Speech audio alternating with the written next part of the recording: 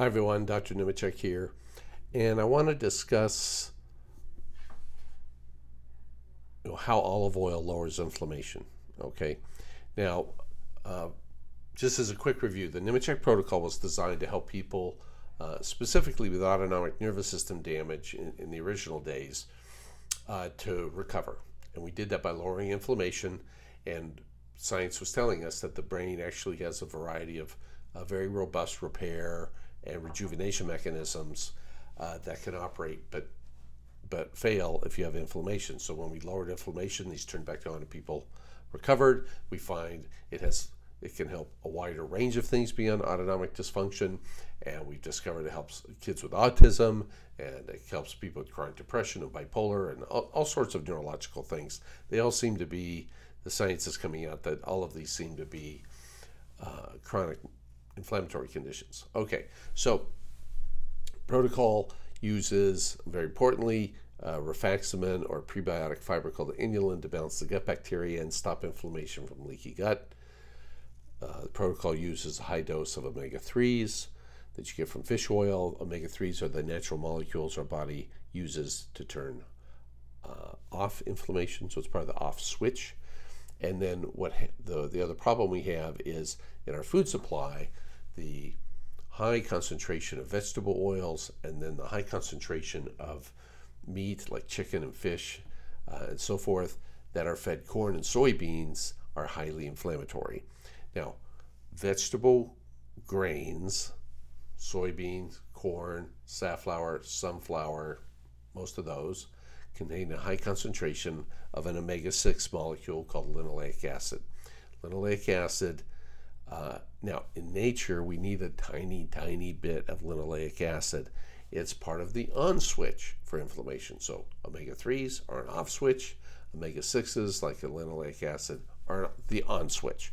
And the only problem is we're getting maybe 10 to 20 times the amount of linoleic acid, these omega 6s, in our food supply. Okay? Um, the other problem is so it's not just oils being added to like pre prepared foods, it is uh, when you take animals that we are going to harvest their meat from and you feed them corn or soybeans, for instance, like farm raised fish or chicken or pork, um, those oils are in the grain. If you feed a, a fish corn and soybeans, you're feeding them corn oil and soy oil, all right? And uh, and that gets converted and is stored in high concentrations in the meat as another omega 6 called arachidonic acid. So, the basic study is take a mouse, give them like 10 times the amount of omega 6s, either in the form of soy oil or, you know, their diet's healthy, but it's now the protein's coming from farm raised salmon. And in only six weeks, you get some inflammation in the brain, uh, the blood sugars start rising, the mouse is obese, all right? Now, you leave them on the bad food, and if you add olive oil to the bad food, in two more months, the brain inflammation goes away, the obesity goes away, and the blood sugars normalize. Okay?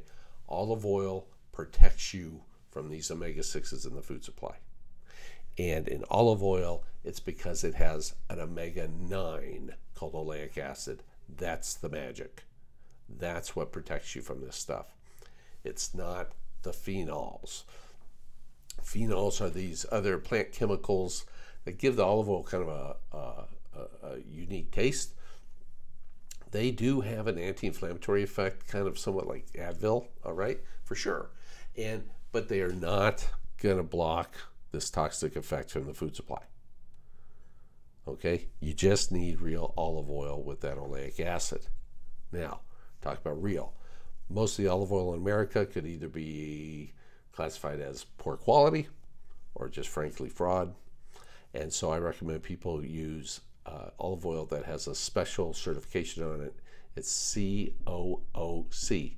That stands for California Olive Oil Council. And you'll see this little seal uh, on the back of the bottle.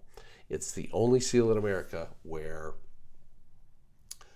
uh, these manufacturers have to send their oil samples to these independent laboratories and prove the quality of the oil every year.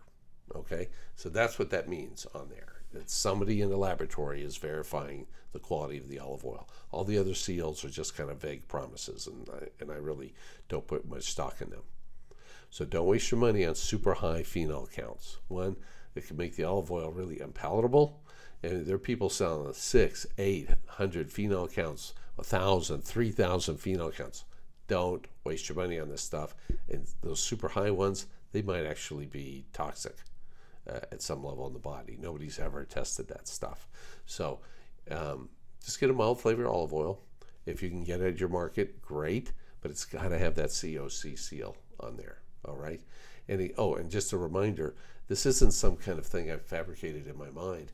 They added in the food pyramid in America that all adults should have two tablespoons of olive oil every day. That was 16, 17 years ago, something like that. Okay. It, it's since been changed. It says now two tablespoons of monosaturated fat. That's basically just saying olive oil. So I hope that's helpful to everybody. Uh, have a great day.